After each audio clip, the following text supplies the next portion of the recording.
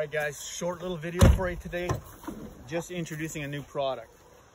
We've been working on it for a couple years now. It's finally ready. Decoys. We're making decoys. 3Dcoy. This is it. This is our mule deer. You put your arm in it. You can articulate the head. There are no other decoys like this on the market. You can move your head around. Great articulation. You can uh, put your finger up into the ear. You can flick the ear.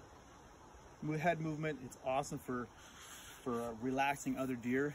Uh, we have the elk, mule deer, moose, antelope, and wild boar. But if you're set up on a in a gun season or anywhere you can get shot at, we've got blaze strips that go on the ears as well for safety. Plus, I recommend a hat and a vest. You can never be too safe with those guns floating around. But anyway, if you want yours, check it out, 3dcoy.com.